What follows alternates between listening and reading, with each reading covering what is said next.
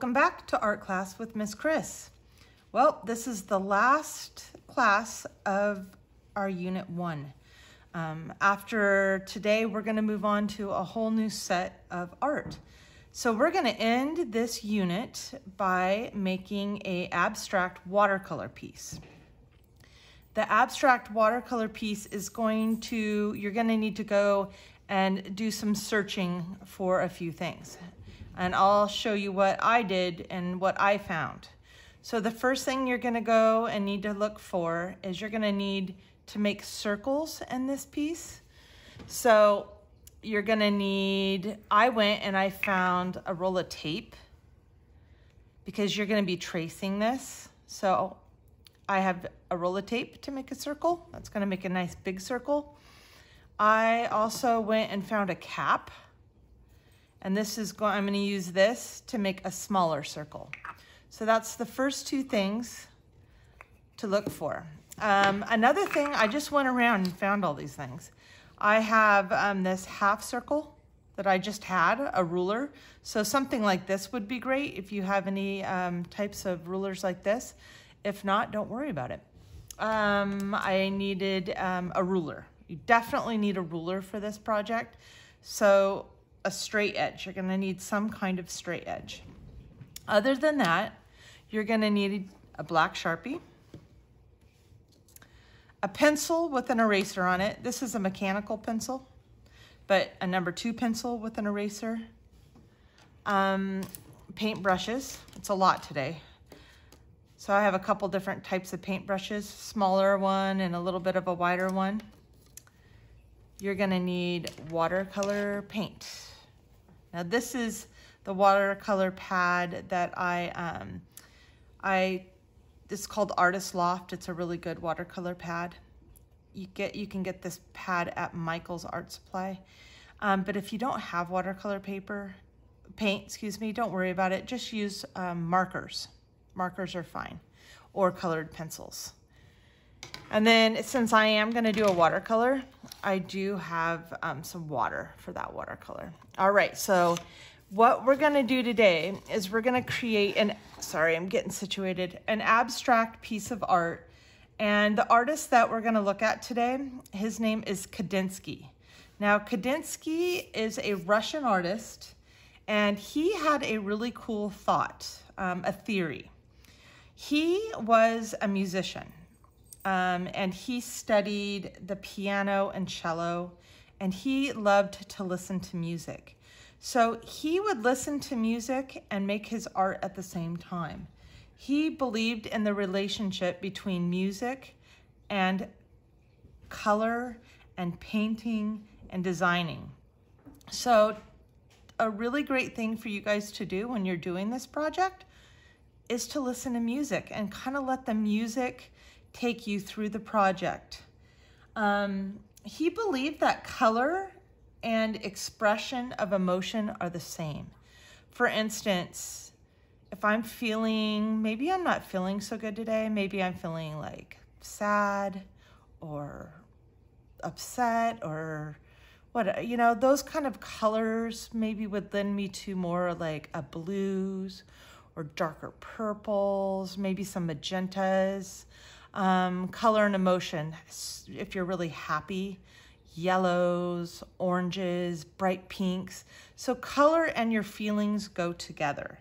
So when you guys go to color this piece of art, I want you to pick five colors.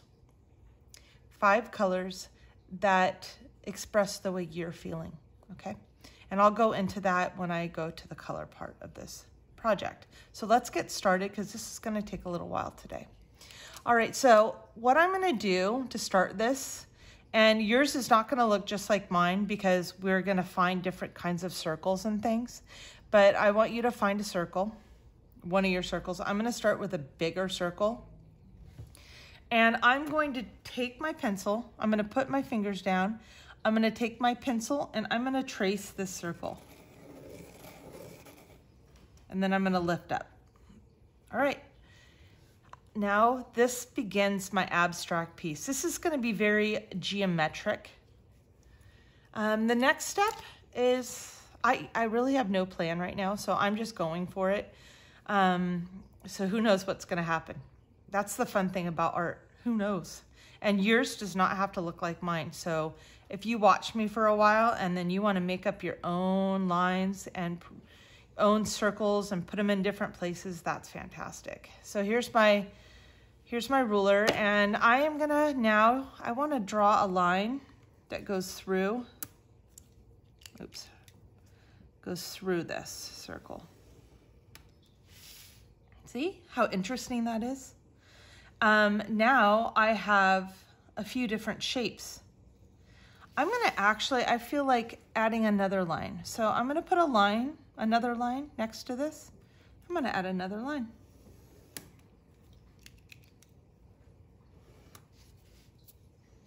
All right, now what else can I do? Hmm, it's endless. I'm gonna continue. I'm just gonna keep going. And I'm gonna work myself through this piece with lines and circles. How about a circle? put a circle here. As I said, I have no plan. I'm just feeling it out. That's the fun part about this project. Ah, now what? I'm going to, I think actually because I have two lines here, for the purpose of balancing this, I think I'm gonna add another line right here, a really skinny one to kind of balance that out. See, when you're making art, you always have to look at it. See how adding that other line balance that? And it, it, it's all about looking at it and feeling it. That's a lot about abstract art. People always say, oh, abstract art, what's that? There's nothing to it. Oh yeah, there is. You need to really think about what you're doing. Create balance, symmetry, designs. All right, I'm gonna continue on. I'm gonna now I want to make a triangle shape in this somewhere. So I'm to put my ruler here. And I'm to come up here. Right. And I'm to come right to here.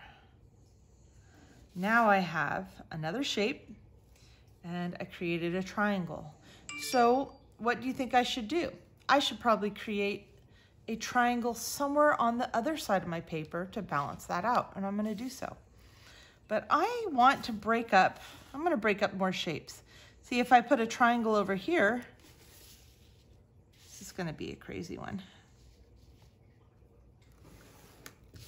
A couple lines to create kind of a triangle over here. Now I have another, I have another shape inside that circle. So I'm gonna continue on. I'm gonna go through my piece and I'm gonna fill this up with lots of designs. And this is a place where you can have fun and make it original and make lots of designs in your art. I'm just, just feeling it out.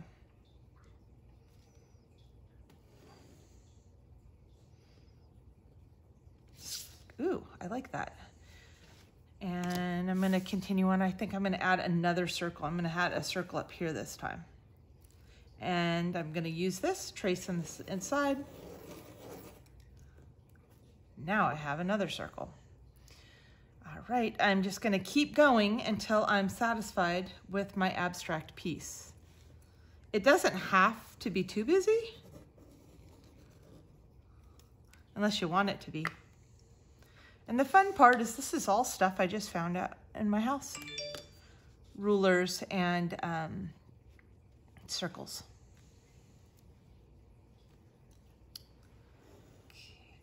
I'm gonna make a pattern. I'm gonna make a few lines right now. One, two, three.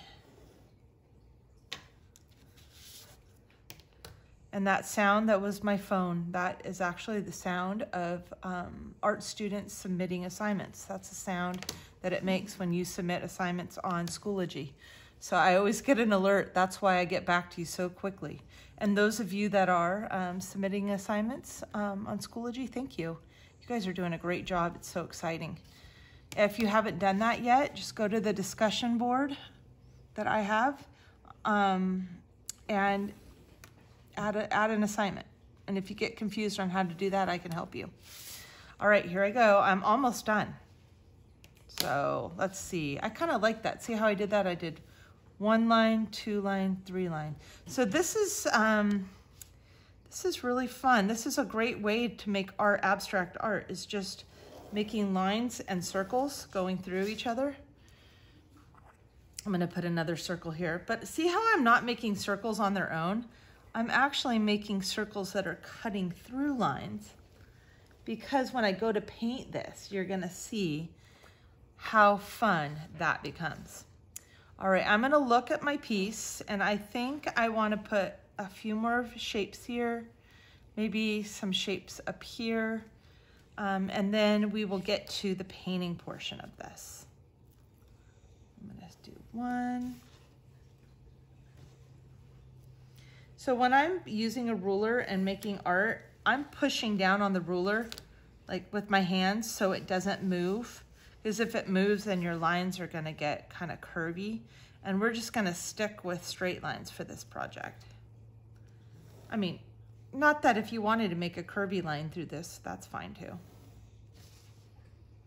Okay, I'm almost done. I'm gonna break, I'm gonna break it up. I want to kind of break up into lots of shapes because when I paint, um, it's gonna make it more interesting. And what I'm gonna do today, because I this is gonna take me a long time to paint, um, I'm gonna start painting this and then I'm gonna speed it up. So you're gonna watch the paint me paint this really quickly, but you'll get the idea of how to do it. So you're not watching this for an hour. All right, let's see. No, I'm see how I'm just thinking about it. That's what I want you to do when you make this abstract piece. I want you to really like think about the lines that you're gonna make. Like, I don't wanna break this up anymore because I kind of like it like that. So I think I wanna do, I wanna come here and I'm gonna stop and keep going. So how I did that? So my line stopped, didn't go through this and came out the other side. All right, so I think I'm gonna add one more circle and that's gonna be a big circle, but I'm gonna now do, um, I'm gonna use this. I haven't used this yet. I found this ruler and I'm going to take it and I'm gonna make a half circle. See how I did that? It's like a big circle coming into it. This also, this kind of drawing is very graphic art. And after I paint it, it all also looks kind of like lasers shooting from the sky. Um, it also looks a little outer spacey with the circles. So it's abstract, but you can kind of, you know, think about it in different ways too. I'm gonna add a few more lines right here. And then I'm going to outline this whole thing in black Sharpie. Okay, so the next step is to get your black Sharpie and you want a black Sharpie if you're gonna paint. If you're gonna use markers to do this, to color it, it doesn't matter. But if you're gonna paint, you have to have the black Sharpie because the black Sharpie doesn't bleed. And that's very important. We don't want it to bleed. So I'm gonna outline this and I'm gonna do a few and then I'm going to speed this up.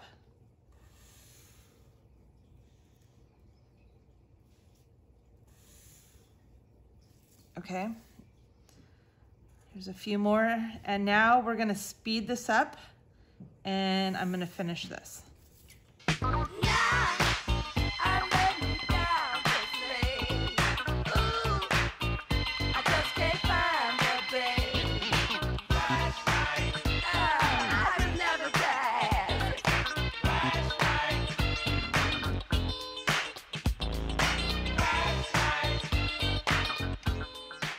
All right, so hopefully that you saw me speed do speed draw that one and outline that one. And if you also can see what I did do when I was going back and outlining it, I think it's kind of interesting to thicken some of the lines.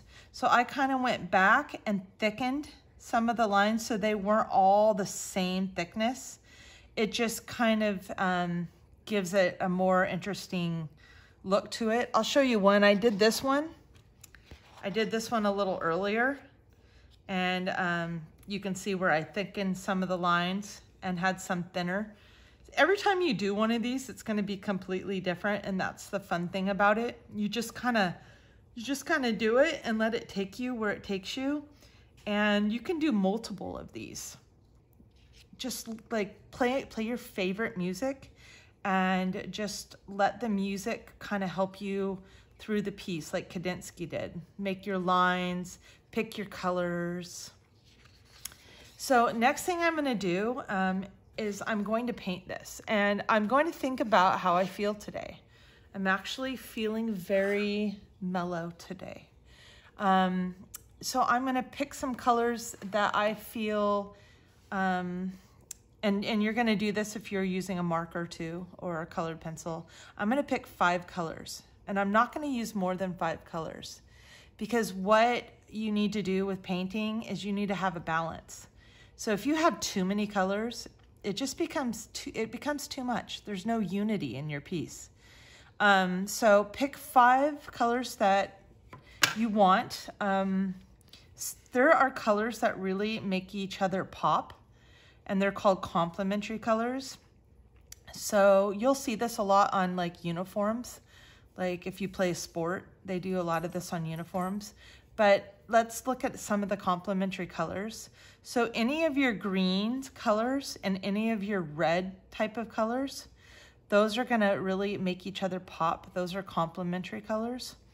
Also your blue colors and your orange colors, those are complementary. So if I have a blue next to an orange, they make each other stand out um, purples and yellows. Purples and yellows are also complementary colors. So they complement, you know, like giving someone a compliment, they complement each other. So they look really good next to each other. So that's also something to think about when you're choosing colors. Maybe I will choose today a blue, an orange, a purple, a yellow, and I have one more, right? Um, I'll do um, turquoise. So let me get started. So the first thing I'm gonna do, and I'm gonna talk for a little bit because this would take me a long time to paint, and then I'm gonna paint this whole thing and we're gonna do the same thing as outlining it. I'm gonna speed it up, but you're gonna watch me do the whole thing, okay? So I'm just gonna start by getting um, my paintbrush and water. And I'm gonna pick my first color. What do I feel like starting with? This is the exciting part. First of my five colors, I'm gonna go really dark with my first color. And I'm gonna get this dark purple. So I'm adding water to this dark purple. And I'm gonna pick and I'm gonna color one of my shapes. So I'm gonna take this shape right here and I'm gonna color it in this dark purple whole shape. Alrighty, there's one. Now here's the trick to making this really, really good. This dark purple cannot touch each other.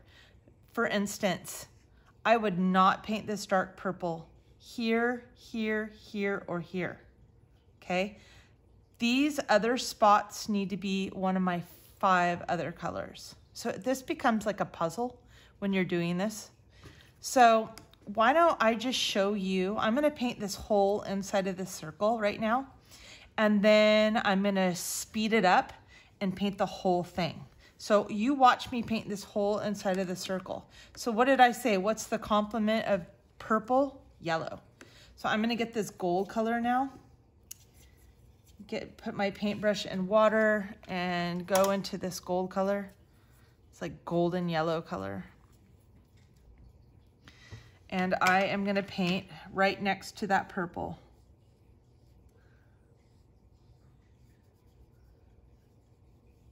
Golden yellow.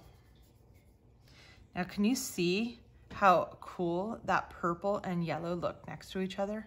They're fantastic. And say I want, I want a more yellow in this. Well, I'm not gonna put yellow right here because it would touch that, right? But I can put yellow over here because it's not touching. So maybe I'll, I'll add another yellow right here in this design. And this is why I say use the black Sharpies because it doesn't bleed. All right, so now I'm gonna mix up. I, I've got some more areas in this. Every See how see what happens when I use that ruler and I break everything up? Then all of a sudden, all of these become little pieces. So these are all different shapes that you can color in. All right, so I'm gonna go and I'm gonna get an orange now. And I'm gonna paint an orange right here. So that's three of my colors, right? Um, and then let's see, I have my blue. And then I have green and that's it. That's all I get. So I'm gonna put blue here. Oops. Um, my blue bled in my um, orange a little bit, and that's okay. But guess what that's gonna make?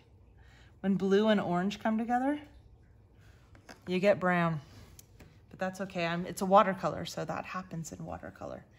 Colors blend. All right, I'm gonna go for this turquoisey green and I'm gonna put it right here. Okay. I have a little bleeding going on. I'm gonna let it because that's kind of cool. Um, another thing you can do if like it gets, if your colors bleed too much, just get like a little Kleenex and dab it and it'll soak the color up. I'm actually gonna grab one really quick. I have one right here. I have a paper towel. So if it gets like things are bleeding a little too much with watercolor, just dab, just dab, and you can soak up the color like that. All right, all right, I need to finish this circle. Um, I'm gonna do a purple. Here's my color scheme. Hope I did good.